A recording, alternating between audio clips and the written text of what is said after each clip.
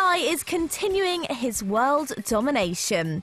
This time he's been visiting fans in Thailand and they arrived in Bangkok in their thousands.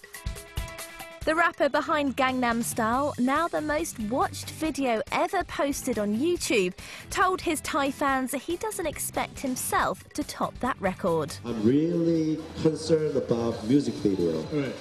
How can I beat Gangnam Style? How can I beat, you know, 800, you know, 50 million views? All right. I cannot. I think I cannot beat Gangnam Style forever, honestly. Yeah.